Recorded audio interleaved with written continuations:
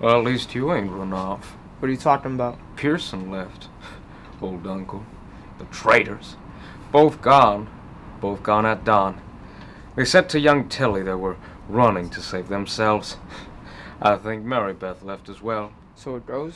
They're goddamn cowards, Arthur. Cowards! Of all the time we spent to run off! Well, I guess they don't want to die, Dutch. Ain't nobody gonna. this is a tough time, and you ain't you ain't doing too well. But we, our community, we will survive. They will not crush us.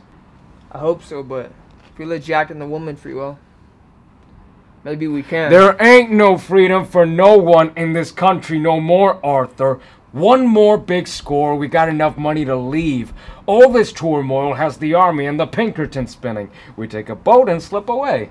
I don't know you're saying, Dutch, but I heard it all before too many times. Just one more. There's trip. always a goddamn train. Arthur, this is different. We know this is full of cash. Army payroll, money and supplies to repair the bridge that you blew. This is all going to plan. We rob Uncle Sam and we leave.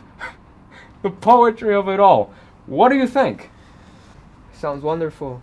Hell, I ain't got much to lose, but you know the woman and the children and John and his family. I'm afraid I have to insist because the Pinkertons come come again. They will kill everyone. John? Insist? Yeah, insist.